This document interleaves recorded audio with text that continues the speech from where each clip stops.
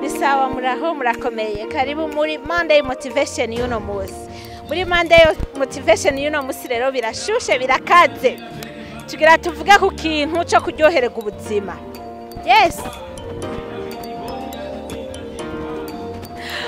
Kuryohereza ubuzima ni ikintu abantu bafata gutandukanye ariko wewe urafise ibintu ukoze donc atari icyaha muri sosiyete atari icyaha muri bible atari icyaha atari icyaha ukoze wumva uraryohe wumva uryohewe.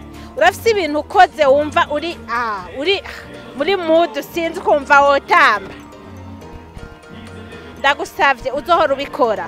Ikintu cyose wumva ukoze wumva uryohewe umutima wumva umeze bien ndagusavye uzohora ugikora.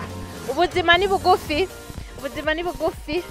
Ashobora kuba umuntu ukunda kwitambira nka jewe ndakunda gutamba wawu urabikora none bigushira mu yindi mudu urabikora. Urashobora kuba umuntu uri kurateka wumva woguma wiririmbira uturirimbo uturirimbo twinshi turyoshe. Birasha ndirimba nk'akarimbo nk'akahe no bikore. Nuvuge ngo ujya yarambujije ngo ujya. Oke no ku masitati naho. Urashobora kuba ukunda gushyira utuvidewo ku masitati utuvidewo turyoshye abantu bakaraba. None bikore bikore. None rega n'ubuzima. La vie belle kandi ubuzima ni bugufi. Nimba hari ikintu wumva ukorera abana bawe nimba hari ikintu wumva ukorera umugabo wawe nimba hari ikintu wumva ukorera umugore wawe nimba hari ikintu wumva ukorera muri sosiyete abantu bakaryoherwa. Ndagusabye ugikore.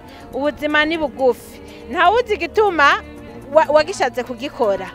Kandi wihereko wenyine kubera ko ushobora gutanga umunezero udafise n'abantu badakunda gutwenga. Vrema muze muragerageza mutwenga muryohererwa ubuzima. Imana yaraduhaye ubuzima uko nyine buba bumeze buryohererwe umve unezererewe ubuzima umve utuje umve umerewe neza ku buzima umve wotwengera umuntu.